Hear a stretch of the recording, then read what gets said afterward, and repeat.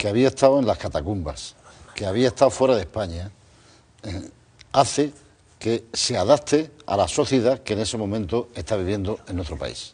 Es decir, veníamos de una situación muy antigua, eh, muy atrasada, y de pronto descubrimos, gracias a Felipe González, entre otros, que la sociedad española era otra sociedad distinta de la que se había estado contemplando durante toda la dictadura. Se lo pregunto, presidente, ¿Podemos puede estar viviendo un fenómeno similar? Es verdad que son organizaciones diferentes, tiempos diferentes, líderes diferentes, que el Partido Socialista venía de una tradición mucho más profunda como organización, ya mm, con personalidad, pero quizás ellos estén ahora como, como suavizando, adaptándose, buscando también la posibilidad de ganar las elecciones con otra perspectiva, no, no, no tan de izquierdas, no tan radical. yo creo, Antonio, que no hay nada en el horizonte que nos permita eh, saber que de aquí a noviembre del año que viene Partido Popular y Partido Socialista van a mejorar sus expectativas electorales. Y no hay nada en el horizonte. ha mejorado el PSOE en estos... Bien, pero, este estamos, estamos, en una situación muy, muy delicada. Y no hay nada en el horizonte que permita saber que Podemos se va a hundir en un año. Entonces, el escenario que se plantea va a ser en noviembre, si las cosas no cambian, y no parece que vayan a cambiar, que entre el 25 y el 30% se sitúen tres fuerzas políticas. Tres fuerzas políticas. Y eso ofrece tres parejas. ofrece PSOE, Podemos, PP, eh, Podemos o PP, PSOE. Y eso es lo que va a plantearse el ciudadano español cuando pasen las elecciones de noviembre. Y ahí está el dilema. Juan Carlos, Hemos acabado con el bipartidismo, que quería la gente terminar con el bipartidismo. Y ahora viene una situación... Ahora tenemos un tripartidismo. Y ahora tenemos un tripartidismo. pero ese tripartidismo significa, oiga, hay que elegir para gobernar. Es decir, la gente nos pide a nosotros, oiga... Compañero de baile, ¿quiere Hagan ustedes... Eso es, ¿quién es el compañero de baile? Pero además ahora mismo la prensa, la prensa que no es prensa de, trinchera, nos está diciendo, oiga, espabilen ustedes porque Podemos estar subiendo. ¿Y qué nos quieren decir cuando dicen que espabilemos? ¿Qué quieren que hagamos? Es decir, ¿qué es lo que quieren que PSOE y PP hagan? A mí se me ocurre tres cosas. Una, tiene que dimitir el presidente del gobierno. Es ineludible. El presidente del gobierno no puede seguir gobernando.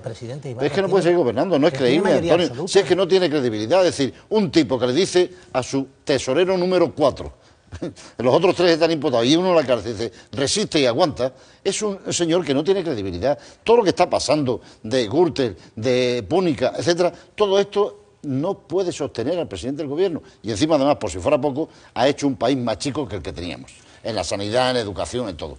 Segundo, alguien del PSOE tiene que asumir la responsabilidad de lo que ha pasado con los seres y la formación en Andalucía. Alguien tiene que asumir la responsabilidad. Y una vez que esas dos cosas se produzcan, vamos a ver que somos capaces de ofrecer a la sociedad, porque de lo contrario no hay nada en el horizonte que permita saber que esta situación va a cambiar. Conociendo a Susana Díaz, yo estoy convencido que esa segunda tesis la refuerza. Quiero decir, si alguien tiene que pagar por eso, políticamente, ella, ella, ella, ella, en ese sentido, ella acaba de llegar, ¿no? Carlos Santos. Alguien tiene que pagar, alguien tiene que decir, oiga, asumo la responsabilidad de lo que ha pasado. Carlos yo, Santos. Yo creo que, que menosprecias, el, o menosprecias en general el, el, resultado que obtiene el Partido Popular en, en, esta, en, esta, en este barómetro del CIS.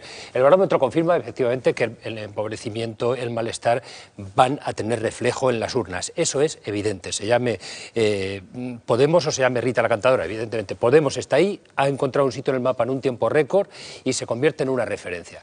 En una referencia sobre todo para el votante de izquierda. Por tanto, una de las noticias de este barómetro del CIS que confirma lo que ya apuntaban eh, eh, las elecciones europeas es que es el riesgo de fragmentación de la izquierda. Pero no menospreciéis el que el partido del gobierno, a pesar de todo, siga siendo el partido más votado, ha perdido 14 puntos, pero sigue siendo una referencia, ojo, y aquí no se trata de adivinar cómo va a votar el país, sino cómo van a votar los votantes del partido del gobierno. Te recuerdo eh, que en el año 93, en el peor momento de su carrera política, Felipe González que estaba contra las cuerdas con Roldán corriendo de acá para allá, los, ministros dimitiendo tal por corrupción, aquello, el Banco de España estaba liado, el Boletín Oficial del Estado, la UGT y Felipe González volvió a ganar unas elecciones. Es más, en las elecciones que perdió, que fueron las del 96, se fue casi con los mismos votos que había tenido en el 82. 86% de en las que se fue en el 96 se fue no lo quiere con 9 millones y medio de votos. no, yo creo que es simplemente es un elemento de análisis que no se debe de, menospreciar. Algunos compañeros en la prensa de hoy hablan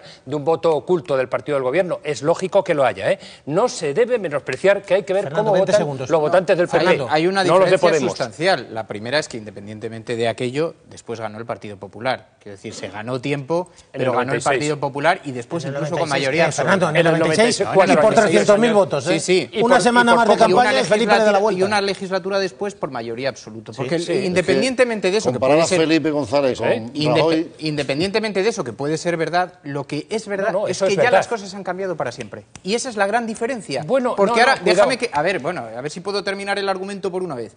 Porque eh, tú fíjate, la ciudadanía ya ha comprendido algo, ya ha entendido un marco, ha dicho. Estos son los problemas, este es el diagnóstico. Ha entendido un diagnóstico. Y ya la gente no le haces desaprender. La gente ya ha aprendido algo. Bueno. y ya no le puedes dar marcha atrás. Variará para arriba, variará para abajo el apoyo, pero el, el diagnóstico lo